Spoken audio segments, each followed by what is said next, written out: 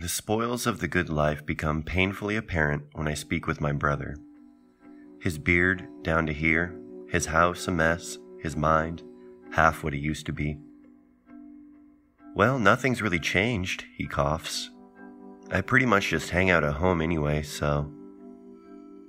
The line goes quiet, and I can't think of anything real to say. By now, the words regarding our lives have built up so much pressure that I fear what might pop out. There are so many words with sharp edges that they cut me inside. I don't want to cut my brother. So I speak on the surface.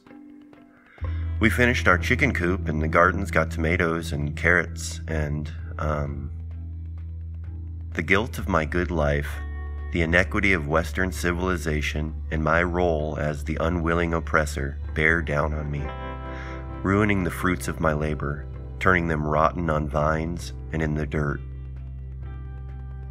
Yeah, so comes my brother's ultimate non sequitur, signifying the spin within his head, his need to protect himself from shame.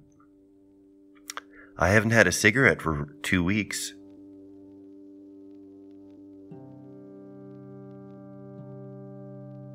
I can feel his humble smile from 350 miles away.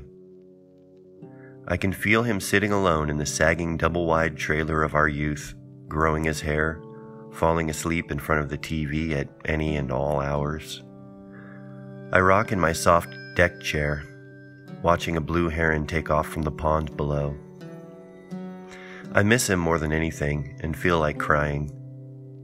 I miss the part of him that is now forever lost to the world of overdoses the part of him that built up the little world in which he now resides, which now, in quarantine, seems to protect him in ways that the rest of us dream of.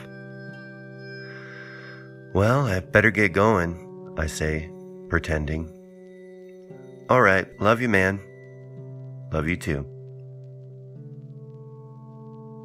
Our words bounce from the satellites and keep us afloat in the sea of signals.